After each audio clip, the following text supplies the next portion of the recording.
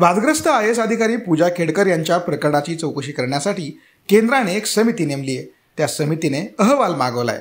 नाशिकचे विभागीय आयुक्त यांच्या पत्रानुसार अहमदनगरचे जिल्हाधिकारी सिद्धराम सालिमठ यांच्याकडे शासकीय रुग्णालयामध्ये देण्यात आलेले डोळ्याचे दिव्यांग आणि मानसिक आधारी असल्याचं प्रमाणपत्र देण्यात आलं.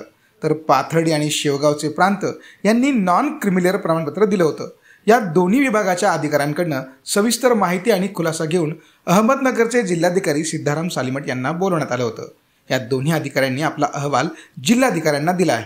यावर जिल्हा शल्यचिकित्सक संजय घोगरे यांनी प्रतिक्रिया दिली. ते काय म्हणाले पाहूया जिल्हाधिकारी महोदय यांनी त्या प्रोफेशनरी कॅन्डिडेट जे आहेत पूजा खेडकर यांच्या प्रमाणपत्राबाबत आम्हाला दस्तावेज घेऊन बोलवलेलं होतं. विभागीय आयुक्त जे आहेत त्यांनी जिल्हाधिकारी महोदय यांना चौकशीचे आदेश दिलेले आहेत. त्याप्रमाणे जिल्हाधिकारी महोदय यांच्याकडे त्यांचं पत्र प्राप्त झालेलं आहे. आणि त्या अनुषंगाने आम्ही आमच्याकडे जे उपलब्ध कागदपत्र आहे त्याच्यानुसार त्यांना अहवाल तयार करून देणार आहोत आजच.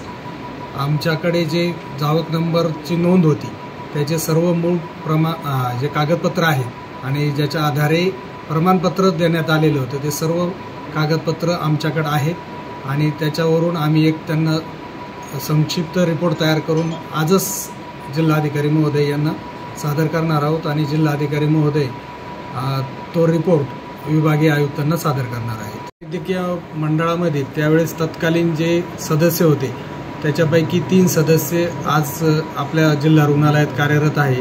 त्यांनाही सोबत घेऊन आलेलो आहे आणि त्यांचाही व्यक्तिगत लेखी खुलासा आपण त्याबाबत घेणार आहोत आणि त्याला वरती कवरिंग लावून जिल्हाधिकारी महोदय यांना सादर करणार आहोत. वैद्यकीय मंडळामध्ये डोळ्यांच्या याच्यासाठी तज्ज्ञ डॉक्टर जे होते डॉक्टर संजय रासकर होते त्याच्यानंतर मेंबर सेक्रेटरी जे होत्या त्या डॉक्टर धोंडे मॅडम होत्या आणि त्यावेळेस ॲक्टिंग सिव्हिल सर्जन जे होते डॉक्टर बापूसाहेब गाडे होते दोन हजार अठरामध्ये आणि दोन हजार एकवीसमध्ये तेव्हा त्यांची मानसिक आरोग्यासाठी तपासणी केली. तेव्हा डॉक्टर गाडेकर म्हणून सायकॅट्रिस्ट होते.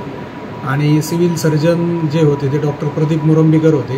डॉक्टर प्रदीप मुरंबीकर हे दोन वर्षापूर्वीच सेवानिवृत्त झालेले आहेत. नाही आमच्याकडे जे नावं आहेत दोन्ही प्रमाणपत्रावरती एकच नाव आहे. आणि आम्ही जेव्हा प्रमाणपत्र देतो तेव्हा त्याला आधार कार्ड